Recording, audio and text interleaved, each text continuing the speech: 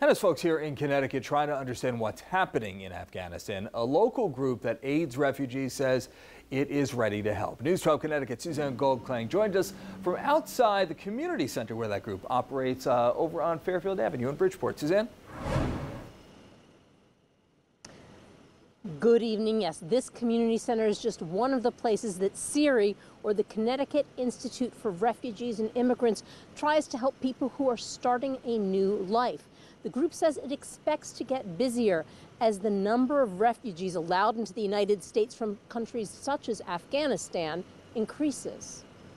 The real stories are going to be uh, the stories of the terror that will be committed by the Taliban on the population. The situation in Afghanistan is painful to watch this is war.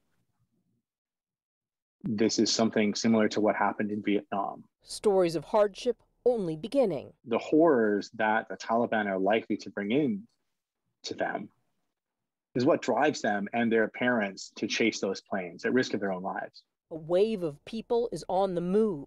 We're just sitting here waiting uh, and ready to receive those refugees from Afghanistan should they come. Some could end up in Bridgeport. Most of the refugees that we resettle, we resettle to Bridgeport because we have access to just an incredible amount of resources there. Afghanistan is only one of several emergencies leaders at the Connecticut Institute for Refugees and Immigrants are preparing for. The types of trauma that people have survived varies drastically. Um, and I think what we're seeing with, for example, somebody from the Democratic Republic of Congo um, is going to be different than what we're seeing from uh, Afghani refugees.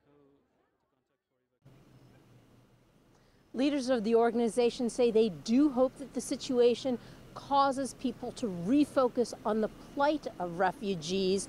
They have volunteers, people donate things like toiletries. They, of course, raise money, and their big event is coming up next month. In Bridgeport, Suzanne Goldklang, News 12 Connecticut.